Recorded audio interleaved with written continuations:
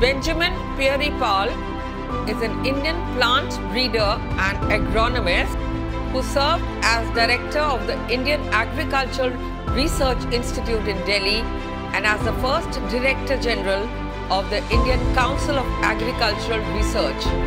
He worked on wheat genetics and breeding but was also known for his interest in rose varieties. Benjamin Peary Pal obtained PhD in 1932 from University of Cambridge, UK.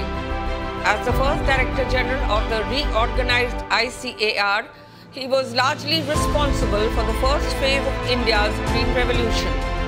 Pal was the architect of all India coordinated research projects on crops, animals and fisheries.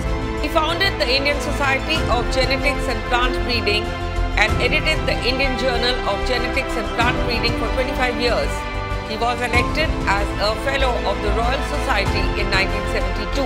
Pal was the recipient of numerous awards, including Padma Vibhushan, which is the second highest civilian award conferred by the President of India.